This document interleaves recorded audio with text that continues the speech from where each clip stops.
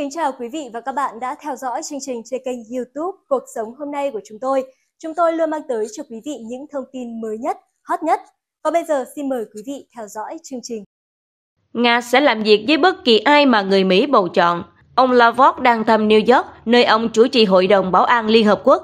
Trả lời câu hỏi của phóng viên hôm ngày 17 tháng 7, nhà ngoại giao Nga đã đề cập đến những diễn biến mới nhất trong cuộc đua Tổng thống Mỹ. Tổng thống Vladimir Putin đã nói về điều này nhiều hơn một lần.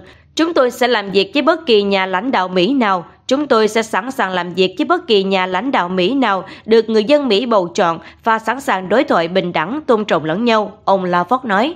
Ông nhắc nhở các phóng viên rằng, bất chấp các lệnh trừng phạt rất nghiêm trọng, Moscow và Washington vẫn tiếp tục đàm phán trong nhiệm kỳ tổng thống của ông Donald Trump, cho thấy điều đó có thể xảy ra một lần.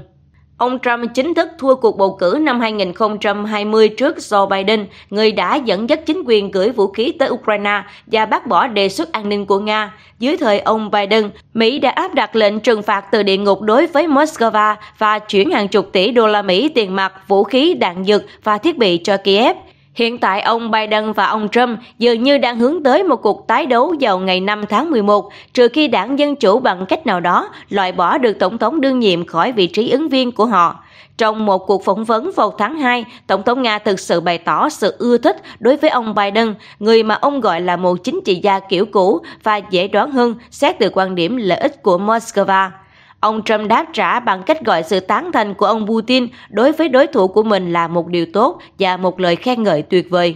Mọi người coi tuyên bố của tôi về ông Biden như một trò đùa nào đó nhằm gây thiệt hại cho mấy. Ông Putin sau đó lưu ý và nói thêm rằng phản ứng của Tổng thống Mỹ tấn công và xúc phạm nhà lãnh đạo Nga đã chứng minh quan điểm của ông. Trong diễn đàn kinh tế quốc tế St. Petersburg SPEEF vào tháng trước, Ông Putin nói rằng chính sách của Mỹ khó có thể thay đổi bất kể ai thắng, nhưng Nga sẽ sẵn sàng làm việc với bất kỳ nhà lãnh đạo nào nhận được sự tin tưởng của người dân Mỹ. Tuy nhiên, tuần trước, ông Biden cho biết ông thấy không có lý do chính đáng để nói chuyện với ông Putin cho đến khi nhà lãnh đạo Nga sẵn sàng thay đổi hành vi của mình. Lãnh đạo quốc gia NATO nói khối liên minh cực kỳ gần chiến tranh với Nga. Tổng thống Ba Lan Andrzej Duda đã cảnh báo về một cuộc chiến sắp xảy ra giữa Nga và NATO nếu Ukraine không giành được chiến thắng trong cuộc xung đột với Moscow. Trong cuộc phỏng vấn với cổng thông tin Vitulina Poska hôm ngày 16 tháng 7, ông Duda tuyên bố rằng nếu Nga đánh bại Ukraine thì Moscow sẽ tấn công các quốc gia NATO, một viễn cảnh đã được các nhà lãnh đạo phương Tây nhắc đến nhiều lần và Nga đã nhiều lần phủ nhận. Chúng ta không thể cho phép Nga giành chiến thắng trong cuộc chiến này, bởi vì nếu chúng ta để Ukraine thua, thì một cuộc chiến tiềm tàng giữa Nga và phương Tây sẽ vô cùng xích sao. Ông Duda tuyên bố, đồng thời coi hoạt động của Moscow chống lại Kiev là biểu hiện của chủ nghĩa đế quốc Nga. Ông cũng tuyên bố rằng Tổng thống Nga Vladimir Putin sẽ muốn tấn công ngày càng xa hơn nếu được để cho giành chiến thắng trước Ukraine. Ông Duda tuyên bố rằng NATO nhất trí coi Nga là mối đe dọa trực tiếp và lớn nhất đối với an ninh của khối, đồng thời ra hiệu rằng mặc dù là một liên minh phòng thủ, nhưng nước này đang chuẩn bị cho một cuộc chiến với Nga có sự quyết tâm cho ông Putin thấy rằng phương Tây không sợ hãi, nguy cơ chiến tranh tồn tại bởi vì chỉ những lời lên án sẽ không ngăn cản được Nga. Nhà lãnh đạo Ba Lan nói và cho biết thêm rằng NATO do đó đang trang bị cho mình ngăn chặn mối đe dọa Nga bằng sức mạnh quân sự. Ba Lan là một trong những nước ủng hộ chính của Ukraine trong cuộc xung đột giữa Kiev và Moscow, gửi viện trợ quân sự cho quân đội nước này và đóng vai trò là trung tâm cung cấp vũ khí cho các quốc gia phương Tây khác. Nga đã nhiều lần bác bỏ những cảnh báo của phương Tây liên quan đến cáo buộc có kế hoạch tấn công châu Âu nếu giành được chiến thắng ở Ukraine. Vào tháng 4, người phát ngôn Điện Kremlin Dmitry Peskov đã mô tả những khái niệm như vậy là những câu chuyện kinh dị và cho rằng chúng được các nhà lãnh đạo phương Tây bịa ra để thu hút sự chú ý của người dân về các vấn đề ở đất nước họ.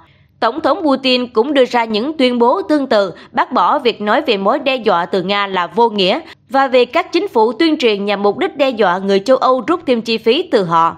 Moscow đã nhiều lần tuyên bố trong suốt cuộc xung đột rằng một trong những mục tiêu của họ là đảm bảo an ninh cho Nga trước mối đe dọa NATO mở rộng về phía biên giới nước này. Họ cũng tuyên bố rằng mức độ hỗ trợ mà các quốc gia NATO dành cho Kiev đã khiến họ trở thành những bên tham gia vào cuộc xung đột, đồng thời cảnh báo rằng các bước tiếp theo, chẳng hạn như cho phép Kiev sử dụng vũ khí do phương Tây cung cấp để tấn công các mục tiêu sâu bên trong nước Nga, có thể gây ra phản ánh tương tự từ Moscow.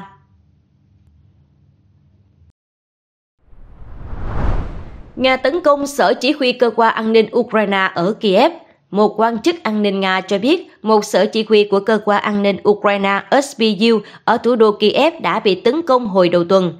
Đã có một cuộc tấn công tên lửa nhằm vào mục tiêu quân sự ở Kiev hồi đầu tuần. Một sở chỉ huy của SBU đã bị tấn công, quan chức này nói.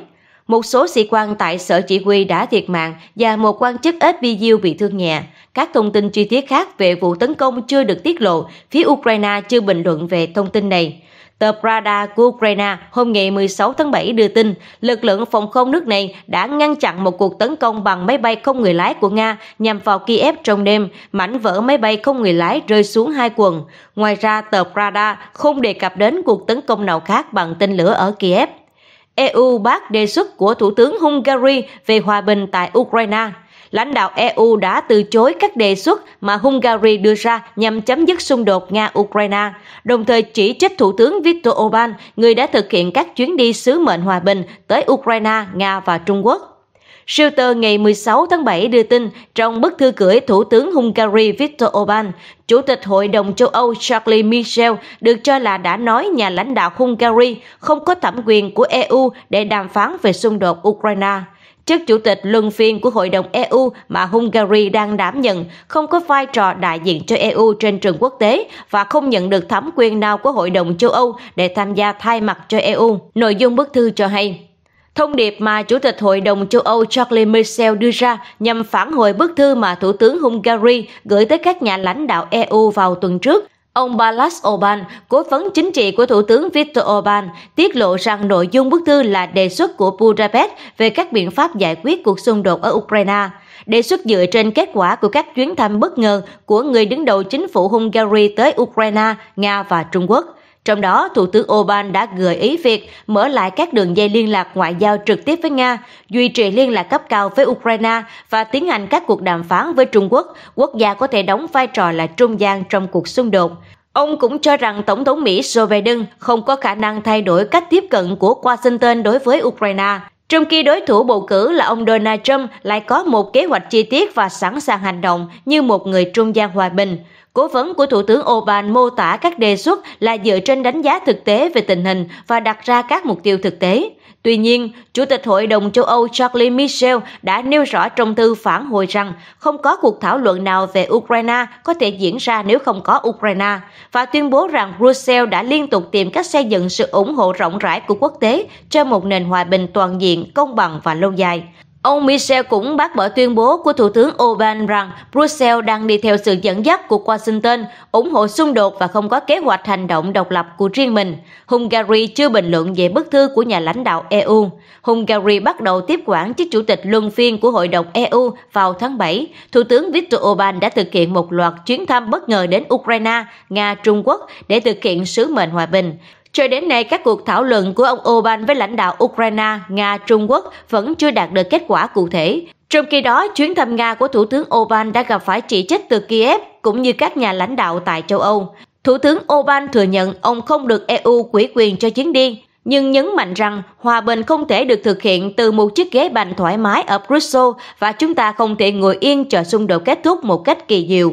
CNN, Ukraine không đủ vũ khí để kiềm chế quân Nga quân đội Ukraine đã ngăn chặn được bước tiến của quân Nga gần Kharkov, nhưng lực lượng vũ trang Ukraine hiện không có khả năng để đẩy quân Nga ra khỏi lãnh thổ Ukraine. Điều này đã được kênh truyền hình Mỹ CNN đưa tin. Trong một cuộc phỏng vấn với đại diện của kênh truyền hình Mỹ CNN về triển vọng của cuộc xung đột, quân đội Ukraine cho rằng vấn đề chính hiện nay là không đủ vũ khí và đạn dược của phương Tây để kiềm chế quân Nga thay đổi hoàn toàn cục diện. Một vấn đề khác của quân đội Ukraine là sự vượt trội hoàn toàn của lực lượng hàng không vũ trụ Nga trên không. Máy bay Nga kiểm soát hoàn toàn bầu trời Ukraine, đồng thời thực hiện các cuộc tấn công ném bom vào các vị trí của lực lượng vũ trang Ukraine. Hiện tại, Kiev không thể làm gì để chống lại điều này, vì vậy mọi hy vọng đều đặt vào máy bay chiến đấu F-16 của Mỹ. Đồng thời, chuyên gia quân sự Ba Lan Konrad Muzika tin rằng việc Ukraine dựa vào máy bay Mỹ là vô ích bởi các máy bay được chuyển giao cho Ukraine không phải là loại mới nhất, trong khi Nga lại sử dụng những máy bay chiến đấu hiện đại nhất ở quân khu phía Bắc. Chuyên gia Muzika nhấn mạnh, F-16 là máy bay chiến đấu được phát triển từ những năm 1980 và 1990, khả năng của nó kém hơn so với các máy bay chiến đấu hiện đại nhất của Nga. Vị chuyên gia này kêu gọi Kiev không nên dựa vào máy bay phương Tây mà phải huy động quyết liệt hơn và xây dựng chiến lược rõ ràng, vì hiện chưa rõ Kiev muốn đánh bật Nga ra khỏi lãnh thổ của mình như thế nào. Cảm ơn quý vị và các bạn đã theo dõi chương trình của chúng tôi. Nếu quý vị thấy thông tin hữu ích, xin hãy nhấn đăng ký và chia sẻ để cập nhật những thông tin mới nhất. Còn bây giờ, xin chào và hẹn gặp lại!